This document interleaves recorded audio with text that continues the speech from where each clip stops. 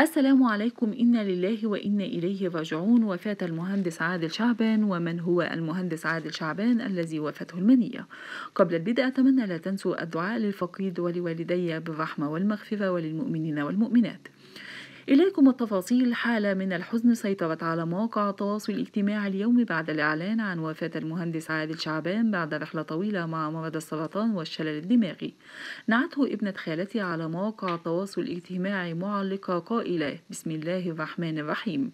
يا أيتها النفس المطمئنة ارجعي إلى ربك راضية مرضية فادخلي في عبادي وادخلي جنتي. صدق الله العظيم.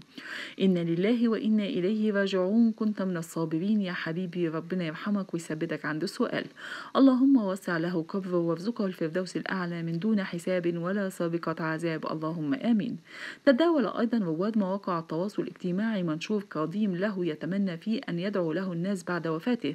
قائلا نفسي بعد نهاية رحلتي في الدنيا ألاقي اللي يفتكرني بالخير ويدعي لي بالرحمة. ولما سبت تيجي في مكان الناس تذكر المحاسن اللي عملتها ربنا يحسن خاتمتنا جميعا ويحنن قلوب الناس علينا ومن سناش من دعائهم بعد وفاتنا. حياتنا البقاء والدوام لله. ظهر ظهر المهندس عادل شعبان في برنامج مصر تستطيع مع الإعلامي أحمد فايق ليحكي عن لحظات الألم في حياته خاصة بعد وفاة زوجته.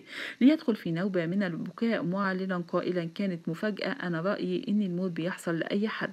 بس الفقدان صعب والألم كبير. إن الواحد فجأة يصحى من حلم جميل على شيء مؤلم.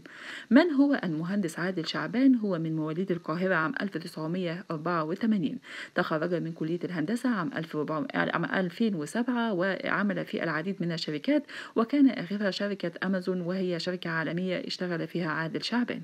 إنا لله وإنا إليه راجعون داعين لفقيد ولموتانا بالرحمة والمغفرة. تابعونا.